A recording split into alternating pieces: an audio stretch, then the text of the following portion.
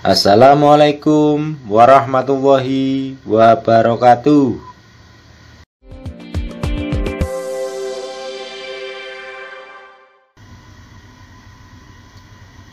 Teman-teman, apabila laptop atau komputer kita mengalami error atau mengalami masalah pada sistemnya, jangan terburu-buru diinstal ulang ya, teman-teman. Jadi, kita coba perbaiki dulu ya. Cara pertama, kita perbaiki dengan SFC atau sistem file checker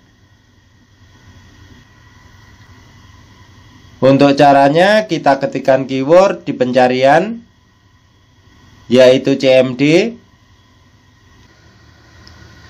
Selanjutnya CMD atau command prompt kita klik kanan. Kemudian run administrator. Kemudian yes. Selanjutnya di command prompt kita ketikkan perintah ya teman-teman. Yaitu S F G spasi slash scan now kemudian enter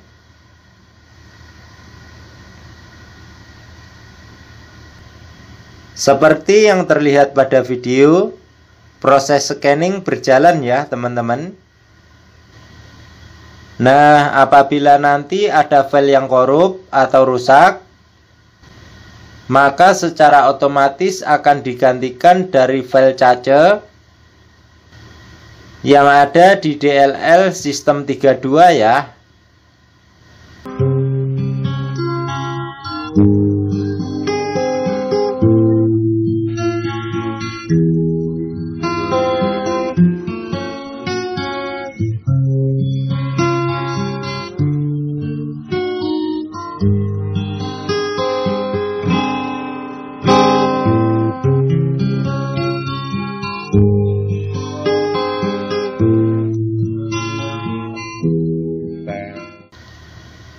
Terlihat ya teman-teman proses scanning sudah selesai.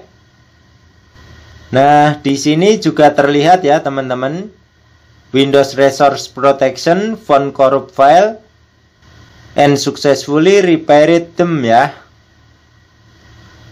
Artinya di sini ada file yang korup atau rusak ya teman-teman, tetapi sukses di repair ya. Selanjutnya command prompt kita close. Selanjutnya teman-teman silahkan restart laptop atau komputernya ya. Setelah desktop tampil dan silahkan coba apakah laptop atau komputer kita sudah normal kembali. Apabila masih error atau belum normal, kita gunakan cara yang kedua ya teman-teman. Cara kedua kita perbaiki menggunakan DISM atau Deployment Image Servicing and Management ya. Untuk cara yang kedua ini harus online ya teman-teman.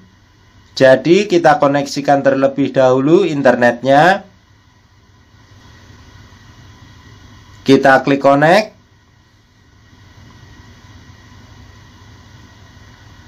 Terlihat ya teman-teman sudah terkoneksi. Selanjutnya kita buka command prompt.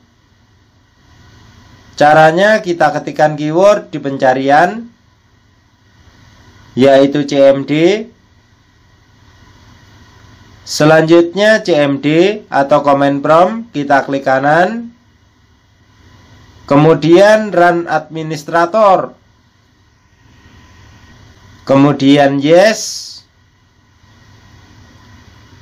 Selanjutnya di command prompt kita ketikkan perintah ya teman-teman. Yaitu dism.exe spasi slash online spasi slash clean up dash image spasi slash restore health. Kemudian enter. Seperti yang terlihat pada video proses scanning berjalan ya teman-teman.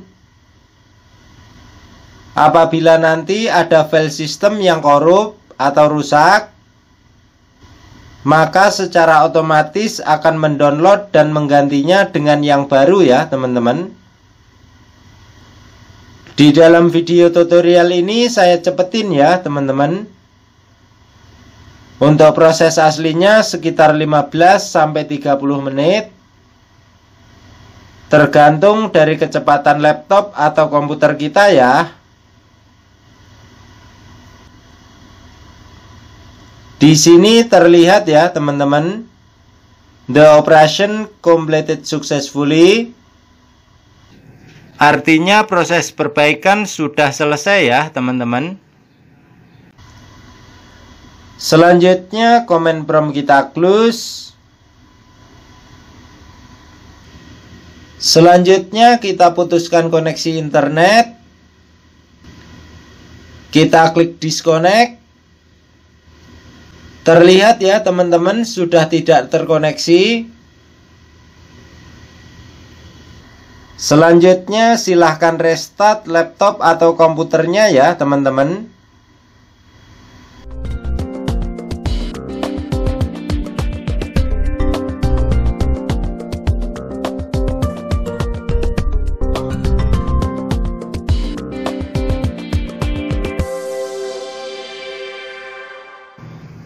Setelah desktop tampil, selanjutnya silahkan coba apakah laptop atau komputer kita sudah normal kembali ya. Bagi teman-teman yang belum berhasil menggunakan kedua cara ini, saya sarankan silahkan diinstal ulang laptop atau komputernya ya. Sekian ya teman-teman cara memperbaiki file sistem Windows 10 tanpa install ulang. Semoga bermanfaat. Akhirul kalam. Wabillahi taufik walidayah. Wassalamualaikum warahmatullahi wabarakatuh.